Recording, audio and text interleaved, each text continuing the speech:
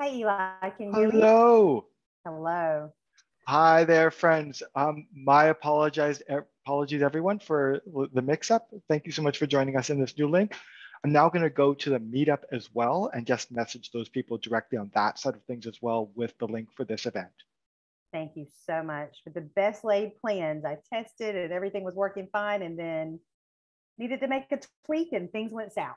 I have seen that issue happen. The danger is like when you exit out, you're like, as a host, you're like, close it for me or close it for everyone are the two options. And it's super easy to make that mistake. So I'm sending that feedback to the developer because okay. that is a dangerous feature. I agree. Yes, yes, it is. Or good, just getting that out to the meetup. So yeah, in the meantime, here, I'll actually, I'm gonna make you the uh, host for this, um, okay. Rebecca. Um, and then, yeah, actually, I should be in another meeting at the moment. So I'm just going to slip out in a second. All right. Thank you. But yeah, but all the best, everyone. Uh, enjoy the call. And yeah, thank you so much for your flexibility. Yes, thank you. And you're a lifesaver, Eli. So thank you. Happy to help out always. All right. Okay, and I see people are joining in. David, thank you for the insight on the URL too. Um, all of this is going to be helpful. We're transitioning from Zoom into the Bevy platform, uh, which is hosted by TechSoup, and um, we're learning as we go. So thank you.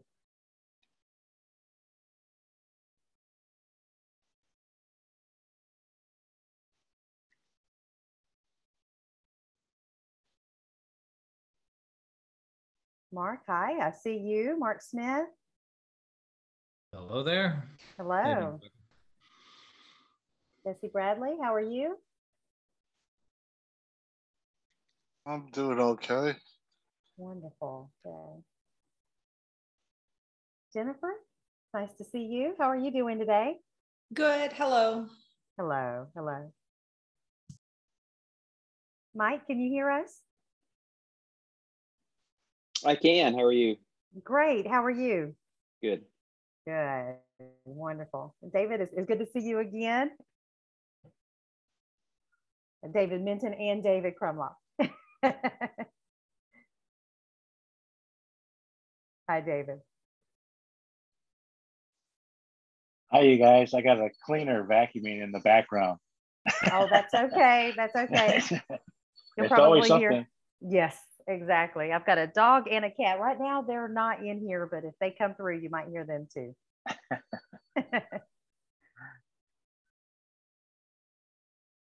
I'm going to post an update on Facebook. I posted earlier there were problems, so I'll, I'll post Thank that uh, they're fixed and that the link will now uh, route them to Zoom. Thank you so much. I appreciate that, Mark. Um, yeah, I, as, as, I was saying, I, we might have had a couple more people join in.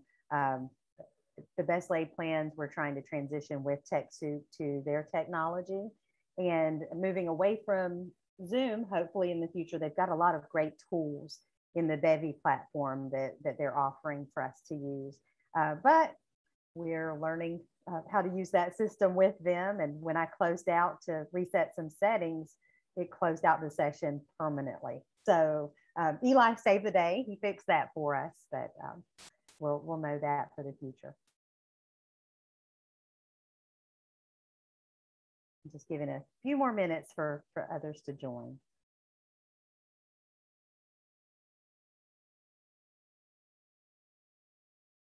Jeffrey, good afternoon. How are you? I'm doing well. Good, good. I know we um, have been going back and forth by email. I, I hope you're having a good day. Uh, yeah, it's not Friday, but it's all right. That's right. Something to look forward to, though. Mm-hmm. We'll I, I have that information you requested coming. I'm just okay. trying to wordsmith my bio a little bit. I understand, and, and there's plenty of time. And if you need any um, any information from me, please let me know. I surely will. Okay. Well, got a few more people joining, and uh, let's go ahead and get started today. Um, and, and we've we've got a, a, little bit of time. We can certainly go over if uh, the conversation uh, warrants it, and, and you want to stay around. Uh, if you have something planned for one o'clock, you can step out, and, and no one will uh, be upset by that either. Uh, my name is Rebecca Beck, and uh, we're here for NC Tech for Good.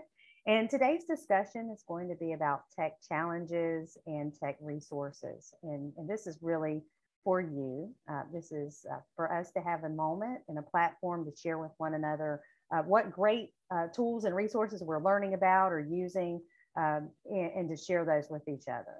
And, and possibly any challenges that we can discuss and, and talk through and be a bridge of support for one another. So uh, the first thing that I wanted to talk to you about is uh, there was a, a, recent article in BizTech Journal that talked about the five nonprofit tech trends to look out for this year. And what they found were some of the challenges that nonprofit IT has currently is integrating their online giving platforms, uh, either if they're using a CRM or some other constituent management tool. Um, nonprofits also want to expand their automation to free up resources that go it, that should be going directly to our services instead of having to uh, pay the burden of, of technology costs. Uh, AI and machine learning has come into play, and uh, nonprofits are, are looking towards that to find out uh, what's best for them and how they can work in those areas and, and play with those tools. Data security, of course, cyber security is, is a constant concern for all of us. And mobile operations, especially with the pandemic and people needing to work remotely, uh, mobile operations has become um, a, a, spotlight. So, what I want to know from each of you, and, and feel free to share if, if we've got a few volunteers that want to talk about what's going well in their organization or in the work that they do, I'd love to hear from you.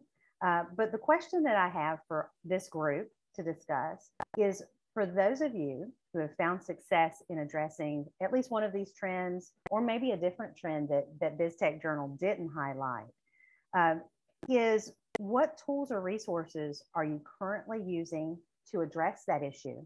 And what are your future plans? How will you expand or grow that uh, from the, the, success that you found? Um, and, and so I just wanted to call out that uh, generally to everyone in the group. Um, if there's anything that you want to highlight that's on your mind, um, that you, you've recently experienced?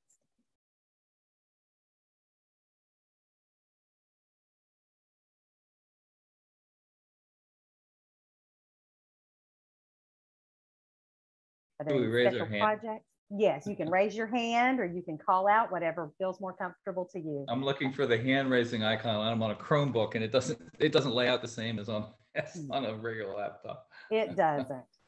So so Mark, what do you have to share with us today? Well, uh, my principal organization I've been working with is the Triad Electric Vehicle Association, uh, an electric vehicle advocacy group, and uh, the and now the national organization, which is being rebranded the Electric Vehicle Association. It used to be called the Electric Auto Association. Uh, one of the major uh, trends of this year is finally enabling uh, Salesforce, a CRM, into the processes within the large organization um, realized that we're only a very few of the chapters. Um, our chapter is is 150 people registered here in Central North Carolina. Uh, the organization uh, throughout the world is is on the order of uh, 5,500, as I recall, with uh, about 100 chapters. So there is a, a broader need and a, um, a, the, a minimum amount of resource needed to actually begin working with a CRM at the at the higher organization level, the the, the international level. Uh, we do need some research. We would certainly love to have um, help from somebody who's more than just dabbled in Salesforce as I have. Uh, Salesforce is, as anybody who's gotten into it, um, is a uh, very complex beast. We're using the uh, NPSP, the, the Nonprofit Success Pack, which is the thing that's that's free for nonprofits.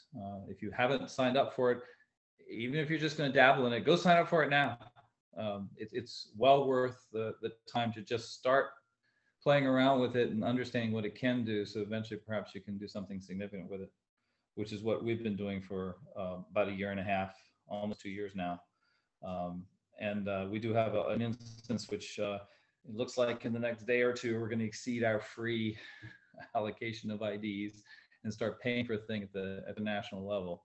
Uh, but some of what we're, we're trying to do is displacing some older tools, some older listservs, um, a very loosely integrated uh, set of tooling um, that includes mail integration with uh, with website and forums. Um, not clear how much of that would actually wind up in Salesforce. Uh, all of those could wind up in Salesforce, but we're really looking for that. Uh, what is the the low hanging fruit and the killer killer app, if you will, for uh, really getting all the chapters on board. Um, so our experience right now, the, the really success is getting over the hump of getting people across the other chapters interested in doing this, where before they're like, show me why I need to do this. Now they're show me what I can do with this. So that's yes. a, that's a better place to be. Mark, um, I have a question yeah. for you. Sure. Uh, with that that concept, with that thought, do you think the pandemic and remote work has has spurred that interest, or is there something else that's caused people to get on board with using Salesforce that way? Well, that's part of it. Um, most of our chapters across the world are relatively small active groups, you know, dozens of people who have relied on face to face, who most of the teams have really taken their electric vehicles out and showed people. And they've been restricted from that. And now we're getting back into probably being restricted again. So, yes, that is a driving force. Uh, how do we engage with people um, who either are unaware of the capabilities of electric vehicles to displace fossil fuel powered vehicles or um, just never spent the time to actually look at them?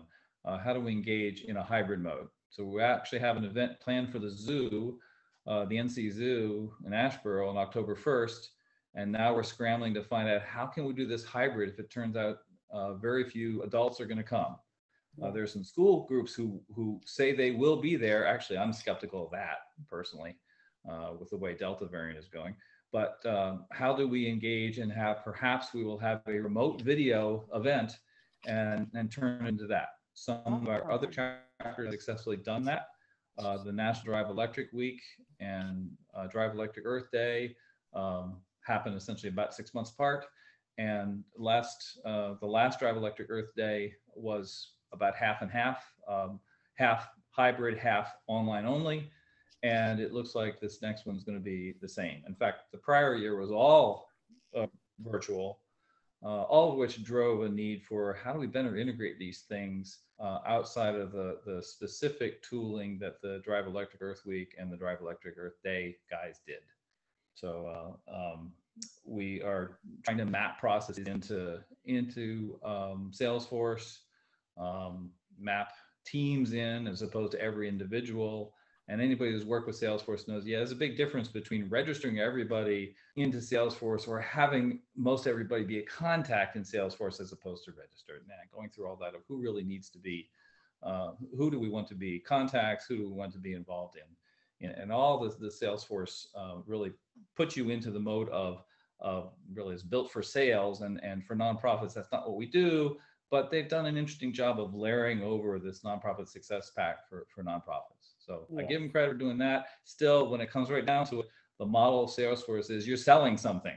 And right. um, many nonprofits, especially these e- electric vehicle guys, say, well, no, that's what the dealers do. We don't do that. But yeah, right. we do. We're, we're selling ideas. Yeah, we call that constituent management and revenue generating in the nonprofit world. So, yes. But like you said, it sells in, in the for profit. So um, one, one question, if it's already published for your event, would you mind placing a link to that in sure. the chat as well? Um, I'm a member of the North Carolina Zoo and I would love to be there on that day. So Okay, it turns out it's a Friday, oh, which is not okay. the best day, but that was chosen for the school groups. Yes, yes. Well, as a homeschool parent, I can oh. do that too. So that's a field trip. All right. And there might be other people here that are interested or, or at least can share that event out. So thank you. Um, so, uh, and I did post a question up here. Um, Mark, you did ask about, you know, if any, anyone has any recommendations or uh, any insight as far as getting some advanced support on Salesforce. Uh, David Benton shared some information. And if anyone else has anything to share here, please do so. Uh, again, that's what we're here for. Um, does anyone else have a, a special story to share in any new technology? Jennifer? Uh, yeah, um, I thought I would um, go next um, since I'm going to talk about Slack, which is um, a product now owned by Salesforce, and it seemed like a logical build. Um, recently I've been working with Code for America, doing some data science work in support of what they're something called revisioning, where they're revisioning their brigade network, um, which is their national network of local uh, volunteer driven um, civic tech organizations. And I also, as a volunteer, am um, leading up the reactivation of our statewide virtual um, brigade. And all of that is to say, well, why am I mentioning Slack, which I imagine is a tool that is already familiar to a lot of people on this call? Can I get a yeah, Slack, Love right? It. We know the yeah. ringtone. Why am I mentioning it? Um, well, we in as part of this revisioning, we did a lot of qualitative data analysis um, and you know really dug through a lot of survey responses interview responses and things like that and when you're dealing with a nationwide network of local organizations which are extremely non-standard like a lot of nonprofits have maybe a, standard model that your statewide chapter or your, your city's chapter is going to look like this that's not the case here. It's everything from fiscally sponsored to standalone nonprofits to from single person to hundreds of people. It's very non-standard with a complex organization to its national headquarters.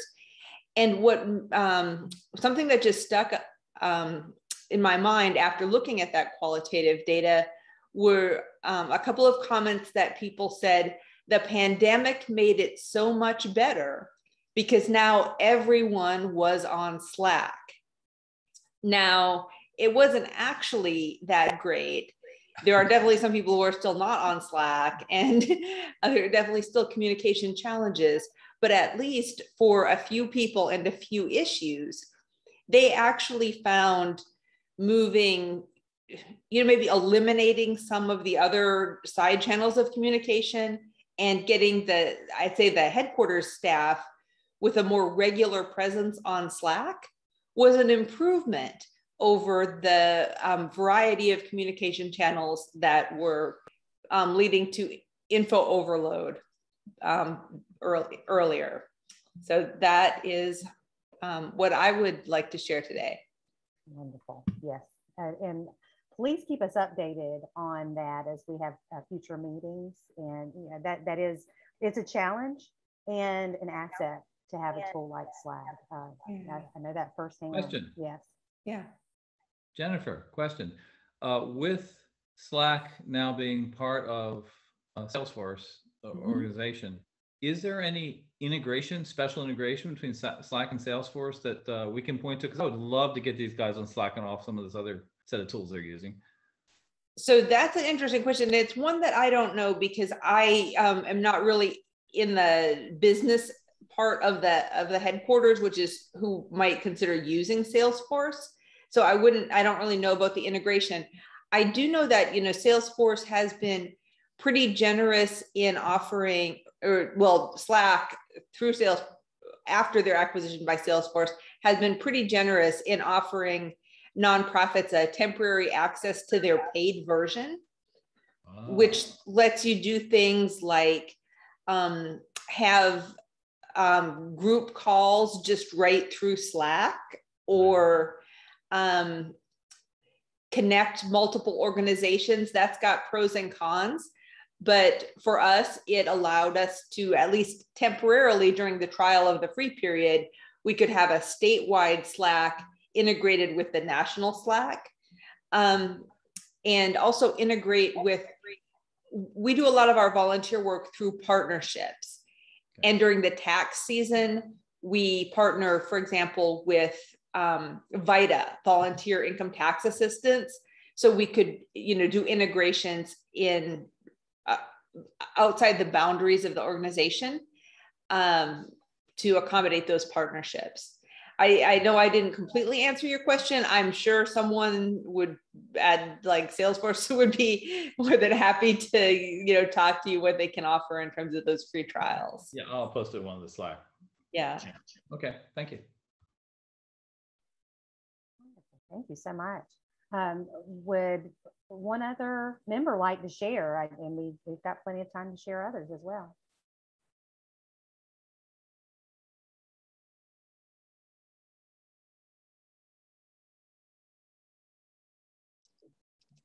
I'm Maple. I gotta go in a minute, but um, I'm in I'm in groups um, that are on the ground fighting infrastructure and bad pipelines and things. So I have a meeting actually now for uh, bird dogging someone's house in DC who works with Biden and approves everything, even though they're saying they're trying, they're going to do better. They're really not. So anyway, um, we mostly use Facebook because it's free. You know, real grassroots on the ground groups without offices. That's all they really have, you know, in general. I'm just generalizing here, but they're not 501c. Some of them are, but they still have almost no money because not a lot of donations come in when you're against the big giant of oil that runs the globe. You know what I mean? It's hard to get even funds for um, people to take real videos or whatever. So it's shoestring. And so they use the Facebook Live, which is more of a security risk. So they use pseudonyms. I'm just saying there's all kinds of nonprofits. And so that's a lot of what I see. And we just, we use it like a big chat, you know, here's this thing tomorrow, or you're going to meet over here. And then sometimes the, the, the police are notified that way. And the police actually look at Facebook to find out what's going on. So it's a challenge and uh, to find, you know, there's nothing free. So I'm just yeah. sharing that as a part of the story. Well, I will point out Slack does have a free version. Oh yeah. Yes. Well, it's not secure. Yeah, yeah. Okay. So Slack Slack is secure compared, especially compared to Facebook. And yeah, well, yeah, anything. yeah. So it would, might be a more appropriate plat platform. Sunrise Movement uses Slack. I first used it with the Bernie and the, the electoral stuff yeah so sunrise uses it but even when they have something that they're gonna like we bird dog sunrise we bird dog tillis's house a couple weeks ago on a sunday and invaded his neighborhood and and yelled about what he doesn't do. Mm-hmm. um, we didn't communicate the details. We went on signal for that which has a chat feature that um, secure phone service thing but yeah you're right. Slack's a lot better than it used to be.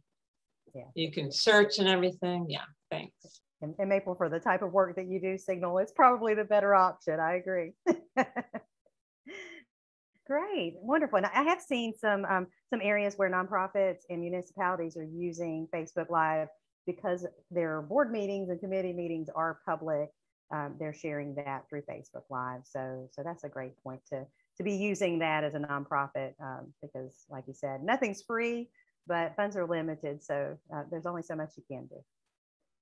Wonderful, thank you. Um, does anyone else like, would anyone else like to share before we move on to the next uh, topic?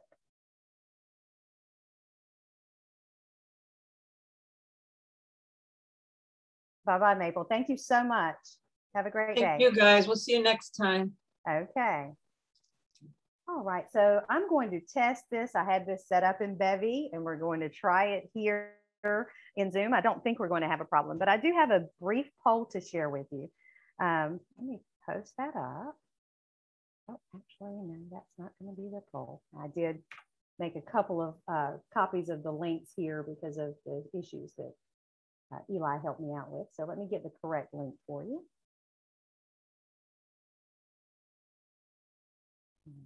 Share this out. And this is a brief poll. And uh, if you have any trouble opening the link, please let me know.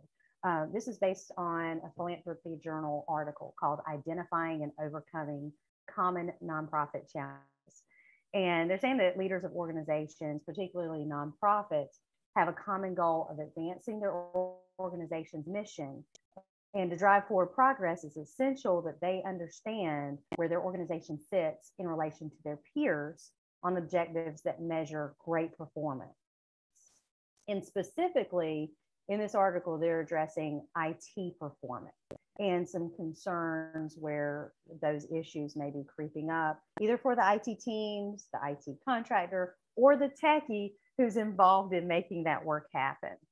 Um, so if you'll open the poll, and again, let me know if you have any issues with opening the link. And I'm going to share here on my screen the actual results. So uh, the question is, what is your primary pain point as it pertains to your role in nonprofit tech? And you've got some options here. Uh, one is network mobility. We've got cybersecurity, communications, funding, infrastructure needs, or some other growing pains that have to deal with programs expansion or retraction of your groups, uh, either by funding or for some other reason, loss of grants, that type of thing.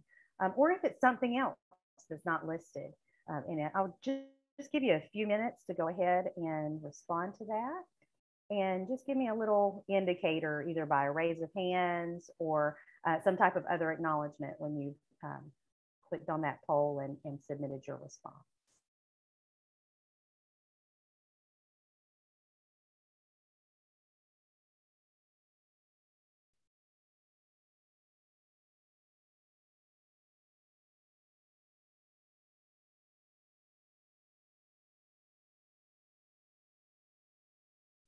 I'm seeing a few hands raised. Is anyone having any difficulties accessing the link?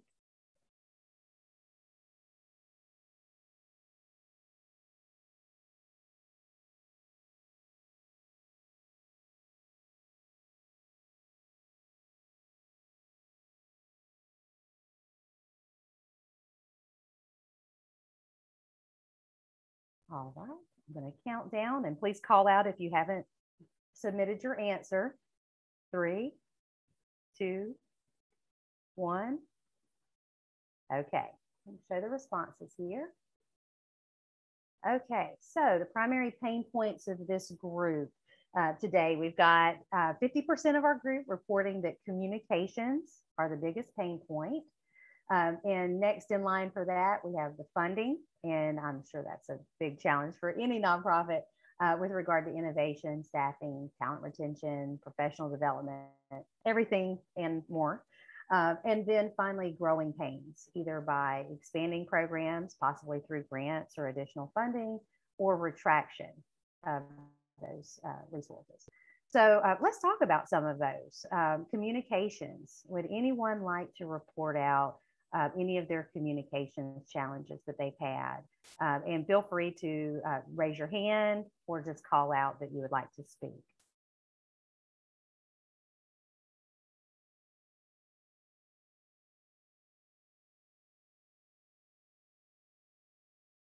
For the ones that answered communication, if you'd like to speak out and, and explain what type of communication challenges you're having. I'll just say information overload. Okay. Too many right. things, too many channels, people not keeping up. Going back again to all the survey um, data that I looked at, there were so many times where people said, nobody ever told me. And there's an equal and opposite reaction of saying, you know, I sent a million emails about this and nobody read them. Um, so both sides. Yes. Yeah. There's um, some great research now on asynchronous asynchronous communication and how in today's society, email and chat are no longer working. And we have to resort back to picking up the phone and having a conversation with one another. Um, in a perfect world, Jennifer, what, from your perspective, would be a solution or at least work your team towards a better solution for all of that? Um, so one of my suggestions that I don't think is getting implemented but I, I suggested a newsletter that I informally called Brigade Leader is Supposed to Read.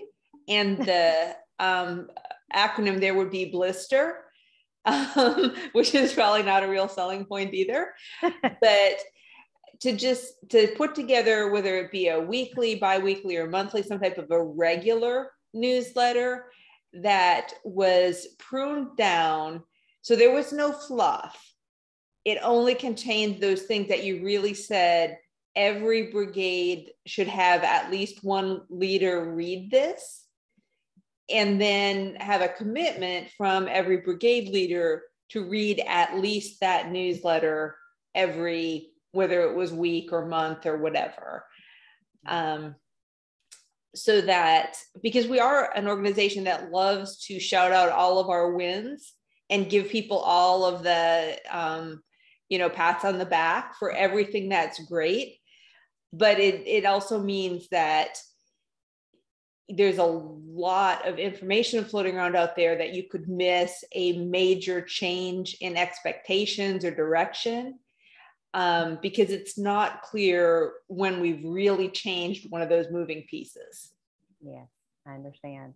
Um, so, so more consistent information across the board through a newsletter, one directional information that makes sense. Um, does anyone else have any insight or thoughts about what Jennifer shared, um, or any even any recommendations for resources? Um, well, I think that really for that kind of a problem uh, of information overload is a lack of a central place where you can go to get that information uh, at any time when you're ready to receive it. So something more like a uh, a project database where you can list the status of each and every project that you guys are working on and have um, you know those concrete information where okay we're shifting this project more toward the finance end or whatever you know you're doing that way it's not information being pushed to the users, but the users know where to go to get that information and they can at a glance go and uh, see and look up whatever project they're most interested in or they're working on and get that information. Um, I just think it's better than pushing it out and then hoping everyone reads it because again, like you're saying, you're getting too much of that already. So, so some type of repository where they can access what they need and should make a commitment to get it. Okay. Uh, Mark, I saw your hand. David, I see you as well. Mark, um, you're next. Well, one of the challenges we have is that the bulk of our members' uh, email is their preferred communication vehicle. Uh, but also they're the same ones who are complaining there's too much email coming because there's no other channel they're willing to look at that might aggregate things better.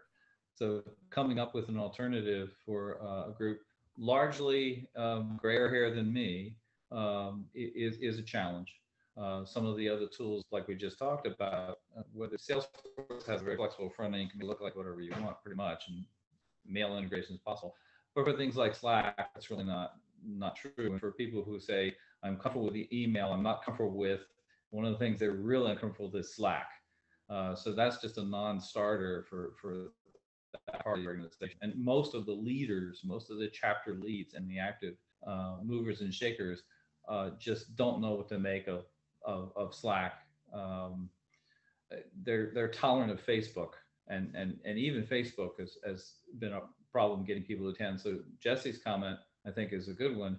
Having some agreement on where are where are certain pieces of information going to reside, and then then growing the culture for okay, we will start placing this type of communications in this place. Whatever goes in a newsletter, whatever pointers are in a newsletter, whatever repositories are set up that's something that, that we're struggling with um, as an organization globally and and the local chapter is really kind of looking for that guidance of what should we do right yes so it sounds like what you're saying uh, and I, I may be paraphrasing this the wrong way but possibly using those resources sending out the newsletter creating the repository but having some type of centralized resource where everyone can access all of that information if they missed it in those other areas. Is that right? Yeah.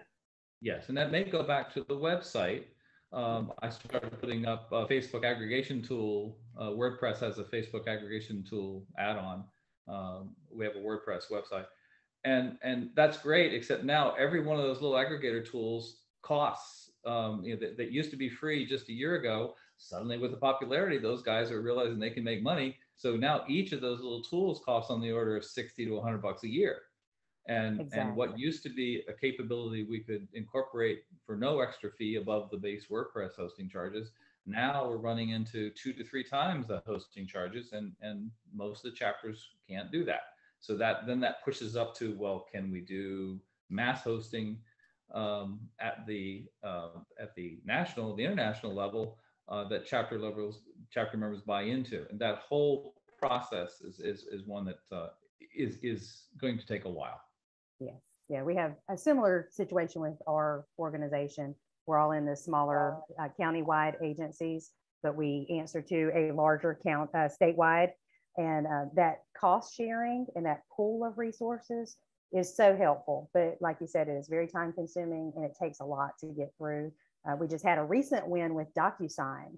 Our entire state is getting DocuSign licenses for our local chapters from the state. So there's an ability, the ability to do that. It just takes a lot of effort from all parties to get that that happening. So, um, David, you've been very patient with your hands up. I, I know you had something to share as well. It's just more of the same that uh, I, I just feel personally email is just probably the worst way to try to communicate among large groups. Um, it once you have people trying to have any kind of discussion, you wind up having email discussions fork, and there's no way to actually kind of trace back what the discussion is and find all the different parts of it. Um, I know there's a nonprofit that I'm a volunteer for that I'm really trying to get them to adopt Slack, which is something that for other nonprofits I'm involved with are on. And for me personally, it's really easy having everything in the same place and I can just switch between the different Slack spaces. But email is terrible. Um, and it's it's just frustrating that that's that's the format that everybody says they want to use and then just doesn't use it. Absolutely. Yes, thank you for sharing that. Um, I, I, did have uh, one resource that I wanted to share with you, and it's um, something that, that really helped me understand why email is such an issue. Like you said, it's, it's a, a burden and it, it's gotten worse um, recently with um, remote work. Uh, but there is a um, podcast called Coaching for Leaders. And uh, I believe it's episode, and I'll, I'll, share this out with the group afterwards by email as well. Um, but I believe it's episode 537 How to Engage Remote Teams. And they talk about asynchronous communication and why email and chat does not work. Um, and developing a placeless mindset and how do we how, how do we bridge that communication gap? Um, it's not going to be anything new for any of you to hear because we live that world um, facing those challenges but it's a resource that i like to share with other leaders who aren't feeling those tech pains from all of this and maybe don't understand that this is a real issue. Um, it may be perpetuating the problem by really forcing people to use email to communicate. So so I would recommend you know listening to that and, and sharing that that out with your teams if uh, if that's helpful at all. Um, so we've got a, a, few people that chimed in on some of the other pain points that they have as far as funding, and, and that might be a whole, you know, all of us are sharing the same pain with that. But do you have any particular struggle that you're having in this respect um, outside of being nonprofit and not being funded at the capacity to be able to serve your community? Uh, but but what types of, of real struggles are you having uh, for those of you who who answered in this way?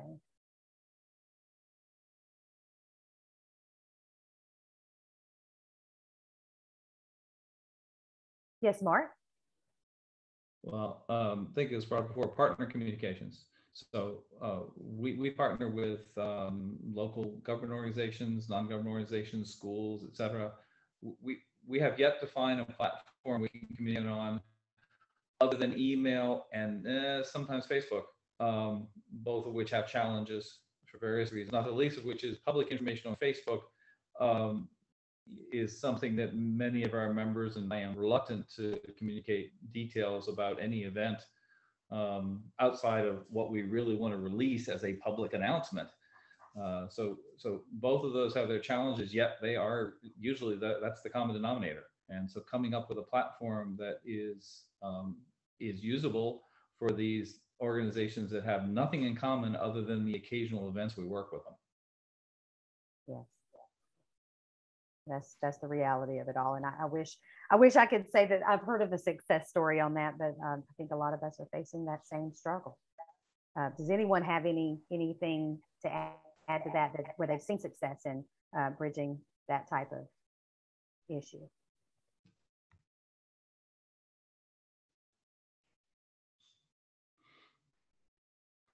I know MailChimp says, you know, all of the, the mail, um, like MailChimp and, and, and the others of their ilk, I, I've forgotten the other major. Oh, Constant contact. and contact, right. Uh, Those two, those two claim, yeah, we can solve these problems, um, for a fee. And, and we found, okay, yeah, it helps, but it really didn't solve that problem. a more kind of moderated approach to communication uh, that I have found that's kind of really extensible uh, has grown out uh, from uh, you know uh, computer gaming communities and things like that. Discord um, uh, has a lot of moderation controls as well as being completely free. Uh, it's more kind of like a, a, a, chat forum, but they have really, really good integrations if you've got people who get really, really good at it uh, for, for doing things. Um, it does support voice communications and, and meetings, uh, you know, kind of at a default, uh, but you can look and see who's a member and who's able to look and see this information. It's easy to invite people. There's a web version, so they don't have to go and get an application if they don't want to. Um, but again, it's just kind of uh, a communication platform where you can send people. So, okay, look, we're going to talk about this type subject over here. And then again, you can follow the conversation because it's more in a forum based uh, communication uh, standard. And then if you want to have like a, you know, a, a, voice chat, you know, once a week or whatever at a specific time, you can do that. And anyone who is, you know, logged in at that time can then join. But again, it's, it's not out there publicly where anyone who just clicks on Facebook can see what you're saying. They have to actually be a member of your Discord server. It's called Discord. Okay, I've, I've heard of Discord before. Okay, thank you. Okay. And, and one thing to add about Discord, if you're in the education space, your leaders are going to be more apt to want to adopt Discord than Slack because Discord might not be as scary to them. Their students are using it and, and some of the teachers in those uh, schools are using it. So. All right. Does anyone else have anything to share specifically with uh, lack of funding or uh, maybe how you're gathering funding uh, to work on a shoestring budget and uh, deal with some of these technology issues?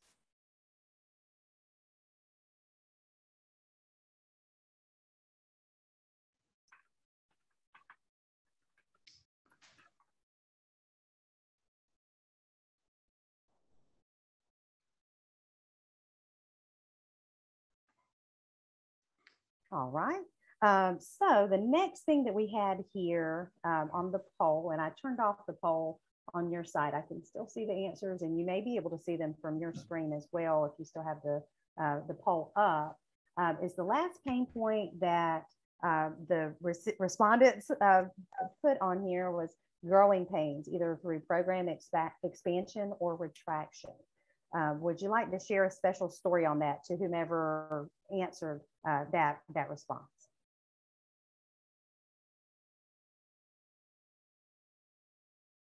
Yes, Mark.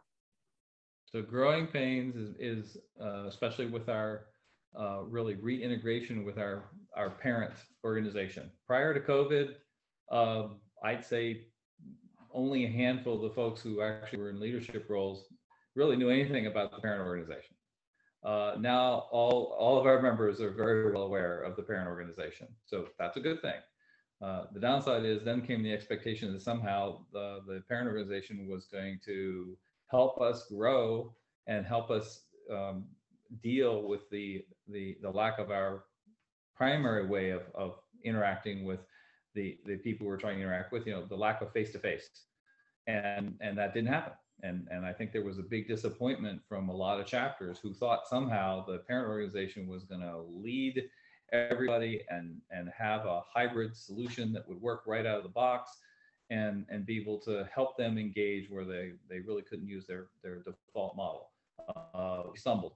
And I, I think we've we've recovered a little bit but mostly it was just okay the one thing the parent organization did was open up uh, they had a um, a, an organization-wide Zoom license and they opened it up to all the chapters. Most of the chapters, if they were using Zoom, they were using the free Zoom, which means they couldn't host a webinar style. It, it, it had to be the, the, you know, the free meeting, which has what, 50, 45 minute limit, I think. Uh, so that was the one major change where suddenly each of those, each of the chapters could actually host a webinar style event if they wished to. So that's the one major win. Um, there were a lot of other requests, but that's the one major win. That's a huge win. Yes, yes. And I, I don't know about you, and I, I don't know if your chapters are experiencing this now, but Zoom has become so prevalent that even um, in regular meeting scheduling, uh, people are asking, can you just send me a Zoom link? And, and expecting you to have the Zoom uh, access to be able to, to have that meeting with them. So uh, yes, yeah. Okay, so our regular meeting was scheduled to end at one o'clock. We've got about five minutes left. Um, are there any particular topics that you'd like discuss, to discuss or any uh, particular issue that you'd like to bring to the group uh, to request advice or support for? Um, and, and, I'm opening this up to the entire group if you want to raise your hand or uh, do the digital uh, little handprint, either way. Well, was hoping somebody else would go first. Oh, you're fine, Mark. I, I don't see anyone raising their hand, but uh, we'll get to everyone who does. Uh, yes, go ahead. Uh, there was a, um, Jesse talked on uh, one thing that, that, or Jeffrey, I'm sorry, uh, talked on one thing that, that we hadn't thought about Discord. If there were a, either a Slack instance or some other forum for our own organization, for this organization, NC Tech for Good, I think that would be very valuable. Uh, I completely agree. I don't, don't really care but one where uh, we could poke each other for expertise regionally. I love that idea, and I've been thinking along those lines too, Mark.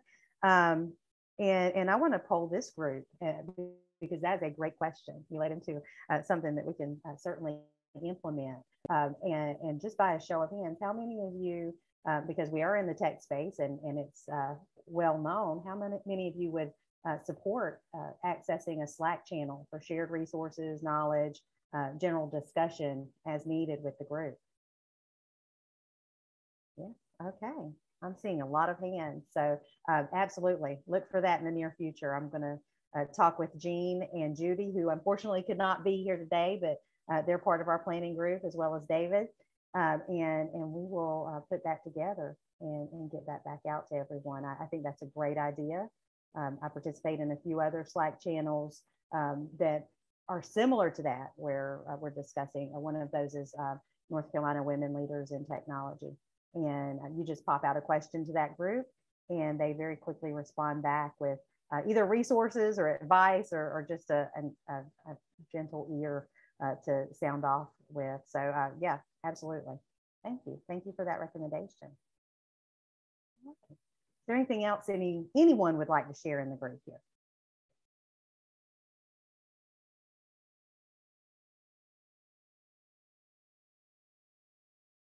Oh, yeah, I'm seeing from Jennifer, she uh, posted in the chat that Code for America also did this. Uh, yes, Mark? We want to have lunch with people again. Or, or yes, yes, absolutely. Yes, we've talked about hopefully a, an event in the future uh, where we can all come together in person again uh, we've got to get through all of this uh, this lockdown and, and uh, changes and, and, and make sure that we can all come together in a healthy and, and safe way. But uh, definitely that's on our minds. Uh, we need to, to uh, look, look towards the future to do that together. Wonderful. Okay, well, like I said, yeah, I know I know this team is is used to having Judy and, and Jean here to, to guide us and support us. Uh, both of them could not be here today, and and we miss them. I'll, I'll send them our well wishes, and they'll definitely get a, a copy of this recording, uh, so they'll know that that we had a good conversation and and they were not forgotten. Um, so uh, if any of you have any questions or want to reach out uh, before we put this Slack channel together, uh, please feel free to email the NC Tech for Good, um, and and we'll one of us will respond to you. Uh, we're all getting those messages now and, and we'll reply back and, and hopefully get you the answer that you, you need. Um, our next meeting is in September. Um, and we'll be talking about some of these things. I have a presentation planned for you um, specifically on what IT leadership and technology looks like coming out of this pandemic and some of the lessons we've learned through that. And I'm looking for a, a really good conversation with everyone that's in attendance about how we move forward with innovation and uh, some of the changes that we've made, how we let go of some of the things that weren't working for us when we started with the pandemic and have not really helped us during the pandemic. And then some things that we've adopted that we continue to keep um, even after all of this is over. So I look forward to seeing you all there. Uh, that date is September 16th at the same time at noon. And, and then we have a special guest coming in October uh, as well as in November. And, and please keep an eye out in your emails uh, for invitations from uh, TechSoup Connect on those special events. Uh, we have Pierre Kwan, who is a software developer and CEO of People on the Go. And he'll be guiding us through some, uh, not only some mindfulness in the roles that we do and, and the work that we have, but also some guidance in, in tech leadership and, and uh, just our, our roles in, in nonprofits. Um, and then we also have possibly, uh, Jeffrey, is it okay if I share?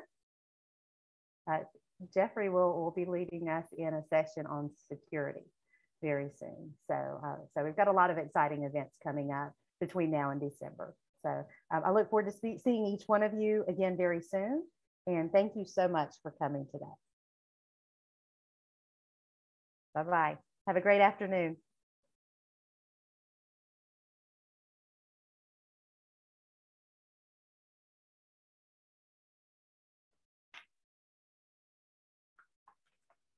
Thanks so much, Jennifer. I got your message. I look forward to talking with you.